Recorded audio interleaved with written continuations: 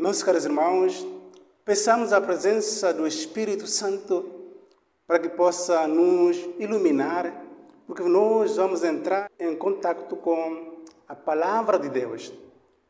E sendo assim, peçamos para que a sua força venha sobre nós para podermos compreendermos o que é que o Senhor quer de nós nesta semana. Nossa Senhora do Santíssimo Sacramento, rogai por nós. São Pedro Julião Emar, apóstolo da Eucaristia, rogai por nós. Meus caros irmãos, as leituras desta semana são mais desafiantes, porque elas nos convidam a oferecer aquilo que nós tanto amamos que é a nossa própria vida, o nosso próprio ser. A primeira leitura tirada da, do livro da Sabedoria, capítulos 9, versículos 13 a 18, nos oferece uma nova forma de compreender as coisas. Nós nunca vamos compreender totalmente a sabedoria divina. Nós nunca vamos compreender totalmente a vontade de Deus. A questão que se coloca é: por que, que Deus não se deixa conhecer? Por que, que hoje não temos acesso pela nossa inteligência e pela nossa tecnologia aprendermos? Ou por que, que nós não podemos atingir Deus, não podemos chegar à morada de Deus com tanta tecnologia que nós temos hoje? Já imaginaram se os ricos, os países ricos, se tivessem acesso a Deus, o que seria dos pobres? O que seria de nós? O sol só brilharia para os ricos e os pobres não teriam o sol. A chuva cairia só para os países ricos. E os países pobres não teriam acesso à chuva. A vida só seria para os ricos. Os pobres, aqueles que não têm dinheiro, não teriam o suficiente para viver. É porque Deus é amor. Ele escondeu-se pelo amor, para que somente todos, rico e pobre, tenham acesso a Deus através da fé. Deus está aberto para se revelar e ser conhecido somente pela fé. É pela fé que nós penetramos o mistério de Deus. É pela fé que nós entramos em contato com Deus. A ciência, se estamos a progredir na ciência até agora, mas nós não conseguimos termos essa termos essa posição de Deus. Sendo assim, meus caros irmãos, nós nunca vamos compreender totalmente a Deus, por simples razões. Nós somos puramente criaturas. A segunda leitura é tirada da carta de São Paulo ao, ao Filemão. Esta carta é a mais curta de todas as cartas de São Paulo. Essa carta foi escrita nos anos 61 a 63, quando São Paulo estava em prisão em Roma. Escreve, São Paulo escreve essa carta ao Filemão para que possa receber ao escravo que tinha fugido da sua casa, Onésimo. Mas dessa vez, ele deve receber Onésimo não como seu escravo, mas sim como seu irmão. O que nós podemos aprender aqui? O que é que realmente São Paulo quer nos ensinar aqui? Muito simples. Nós devemos saber perdoar. Não importa que tipo de ofensa que o nosso irmão nos infligiu. Nós devemos ter a capacidade de perdoar aos nossos irmãos. Meus caros irmãos, Paulo está a pedir a Filemão a coisa mais difícil. Naquela altura, na tradição romana, o escravo que foge do seu senhor, se for capturado, devia ser morto. Estava condenado à pena de morte. Sendo assim, o escravo não podia fugir. Agora, Onésimo fugiu do seu senhor e agora Paulo está a escrever para que fugiu do, fugiu do seu senhor e agora Paulo está a escrever para que Onés, Onés, para que Filemão o receba como seu irmão. Por que, que digo que as coisas são mais complicadas aqui? Primeiro, na cultura romana, se perdoasses um seu escravo que já tinha fugido e conseguiste capturar e deixaste na sua casa com vida, automaticamente perdias o valor social. As pessoas iam dizer que até ele não tem o domínio do seu próprio escravo. É neste dilema que São Paulo pede a Filemão para que receba Onésimo desta vez não como seu escravo, mas como seu irmão. O que significa ser irmão?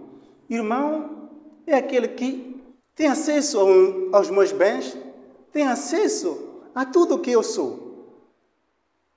E o escravo não tem acesso a esta vida. Já imaginaram aquele que foi meu escravo? Agora está sendo pedido para que seja e venha comer na mesma mesa, a mesma comida comigo. Que tipo de desafio, meus caros irmãos? É preciso, na verdade, ter fé para aceitar essas coisas que Paulo está a pedir. Mas em nome de Cristo, Filomão sacrifica a sua fama na sociedade e ele aceita esse escravo que tinha fugido da sua casa como seu irmão. Que alegria! Ser cristão sempre uma alegria. O coração de um cristão é um coração que tem as portas abertas para o perdão. Se nós não temos a capacidade de perdoar o nosso irmão, quer dizer que nós não somos cristãos. Perdão é a coisa mais difícil, meus caros irmãos. Devemos fazer o nosso máximo para que nós possamos aprender a perdoar. Se nós não temos essa capacidade de perdoar, devemos rezar para que Deus nos conceda essa capacidade de perdoar. A coisa mais difícil é perdoar. Perdoar não significa esquecer. Perdoar é se lembrar da ofensa e depois dizer: Acho que ele fez por ignorância. Filemão nunca vai esquecer que Onésimo foi seu escravo. Mas se vai aceitar, vai aceitar. Agora, como, não como seu escravo, mas como seu próprio irmão. No cristianismo não existe escravo, todos somos iguais em Cristo. Comungamos a mesma comida, a Eucaristia. A Eucaristia nos une. Rico, pobre, nós somos unidos todos na Eucaristia. Isto é que significa ser cristão. A Eucaristia nos une, nos faz sermos filhos de um único Pai, Deus. Por isso, tenhamos a coragem de perdoarmos a cada perdoarmos-nos. E e o evangelho desta semana é tirado do evangelista São Lucas, capítulos 14, versículos 25 a 33. No evangelho nós encontramos uma mensagem muito pesada hoje. Jesus Cristo nos já ensina a renunciarmos àquilo que nós tanto amamos, para que possamos ser capazes de seguir Jesus Cristo. Jesus Cristo disse: Se tu queres ser o meu discípulo, deve renunciar à sua esposa,